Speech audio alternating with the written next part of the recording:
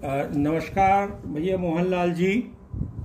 अ, मैं आपको स्वागत करता हूँ कल्पतरु जो हम लोगों का क्लिनिक है आयुर्वेद का बनगांव ग्राम बनगांव में। और आप सबसे पहले जब आप हमारे पास यहाँ पे आए थे तो उस दिन आप अ, को क्या क्या तकलीफ़ थी वो थोड़ा सा बता दें। जी।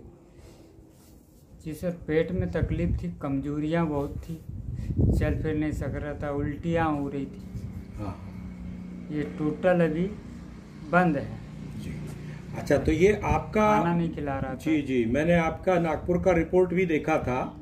तो उसमें ये दिखाई देता है कि आपको पैंक्रियाटाइटिस की सीवियर पैंक्रियाटाइटिस की शिकायत हुई थी और उसका आपका काफ़ी इलाज अंग्रेज़ी दवाई पद्धति से हुआ। जी एक साल जिससे कि आपको आंशिक तौर पे लाभ हुआ लेकिन सिम्टम्स आपके जैसे के तैसे बहुत सारे थे और वो बार बार हो रहे थे। और इतिहास आपका ये मिलता है कि आप काफ़ी शराब पीते थे पहले जिसकी आपने अभी त्याग कर दी हो भगवान की कृपा से। तो अब ये बताएँ आप कि अब आपको कितना परसेंट आराम हो गया है? जी सर अभी मुझे तो सिक्सटी परसेंट आराम है आयुर्वेदिक दवा से। जी जी। जी। तो ये मोहनलाल जी बहुत धन्यवाद आपको। और नमस्कार। मैं डॉक्टर अनिल सक्सेना मैं आप लोगों को ये निवेदन कर रहा था कि ये जो मोहनलाल जी हैं, इनके साथ में हमारा बड़ा अच्छा एक इंटरेक्शन हुआ है और ये काफ़ी ज़्यादा बीमार थे, बहुत ही दुर्बल इनका शरीर हो गया था। जैसा आप अभी भी देख रहे हैं कि इनका जो मस- मसल वेस्टिंग बड़ी भारी मात्रा में हुई हुई पड़ी है। धातु क्षय, जिसको हम लोग आयुर्वेद में कहते हैं, रस रक्त मांस समेत मज्जास्थि शुक्र, सातों धातुओं का क्षय हुआ पड़ा है। लेकिन अभी ये काफ़ी तेज़ी के साथ इम्प्रूव कर रहे हैं और ठंड के दिन में अब और भी अच्छा इम्प्रूव करेंगे और अगली बार जब आप, हम आपको वीडियो इसका इनका देंगे तो ये काफ़ी स्वस्थ व्यक्ति दिखाई देंगे। अभी भी ये खुद गाड़ी जला करके आए हैं, जबकि इसके पहले ये अपनी पत्नी और अपने बेटे के साथ आए थे और ये गाड़ी उस वक्त पे नहीं चला रहे थे, ये लोग ऑटो से आए थे तब। और ये खुद भी ठीक से चलने फिरने में भी उतनी समर्थता नहीं थी। तो आयुर्वेद के सिद्धांतों के द्वारा ही हमने चिकित्सा करी है और कहीं से भी हम इसको ये कहते हैं कि कोई चमत्कार या जादू टोना नहीं है, बल्कि ये एक प्रकार की चिकित्सा पद्धति है, ये विज्ञान है, और अपने आप में ऐसा ज्ञान है जिसको नहीं समझ पाने के कारण बहुत से लोग तथाकथित जो साइंटिस्ट हैं, और मैं तथाकथित इसलिए कह रहा हूँ कि वो पूरी तरह से जानेंगे तो वो फिर सही विज्ञानी हो जाएँगे कि आयुर्वेद एक प्रकार की ऐसी चीज़ है जो कि एलोपैथिक के मुकाबले में या किसी अन्य पद्धति के मुकाबले में कई गुना ज़्यादा अच्छी तरह से चीज़ों को समझती हुई है। अब ये ज़रूर प्रश्न आता है कि भाई अगर आयुर्वेद इतना अच्छा है तो बहुत सारे मरीज़ आयुर्वेद में क्यों नहीं आते? लेकिन उसकी एक वजह यह भी है कि सारा का सारा प्रचार सिस्टम, सारा का सारा और तात्कालिक तौर पे और इमरजेंसी की जो चिकित्सा एलोपैथिक में मॉडर्न मेडिसिन में अवेलेबल है, उसको मैं भी उसका प्रशंसक हूँ। और इमीडिएटली अगर आपको बहुत कुछ हो रहा है, आप एक्सीडेंट हो गए हैं, आपको एकदम इमरजेंसी बन गई है, आपको अटैक आ ही गया है, आपको कोई बहुत बड़ी तकलीफ़ एकदम से आ गई है, तब तो फिर आपको तात्कालिक जो राहत है, वो अंग्रेज़ी पद्धति से वो आधुनिक चिकित्सा पद्धति से आएगी और मैं उसके विरोध में कहीं भी से भी नहीं हूँ। लेकिन मेरा कहना ये कि अगर आप लाइफ स्टाइल डिजीजेस को ठीक करना चाहते हैं तो आपको बिल्कुल एक पक्की बात समझ लेनी पड़ेगी कि आपको आयुर्वेद की दिशा में यात्रा करनी पड़ेगी।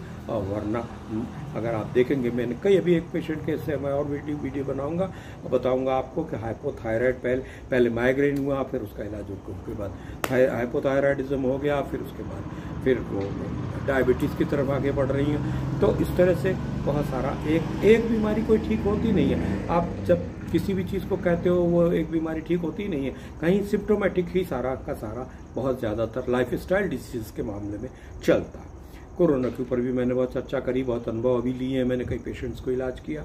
मैं उसके बारे में भी आपको सूचना दूँगा और थोड़ा सा समय उसके लिए अभी मुझे लगेगा।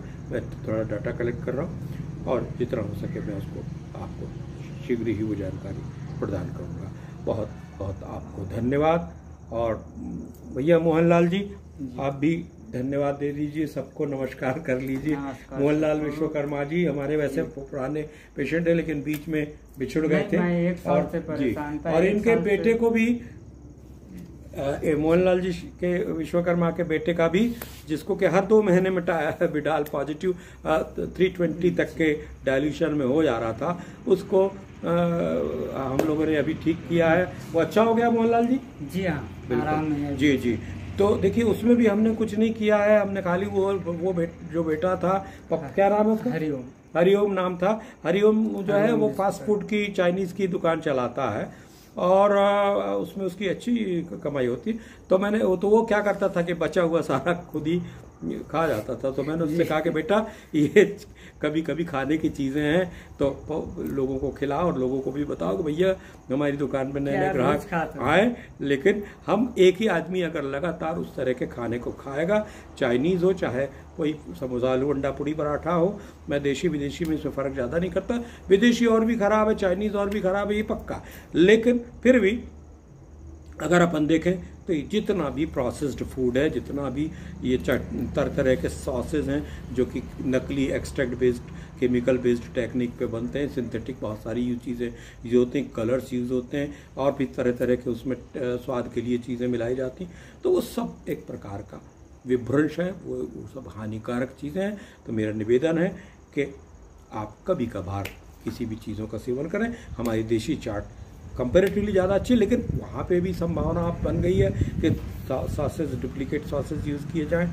तो इसलिए आप उसको भी एक लिमिट में ही उपयोग करें और अति मात्रा ना करें, रोज में ना करें और उसका एक आदत न बनाएँ मजबूरी में ना खाएँ।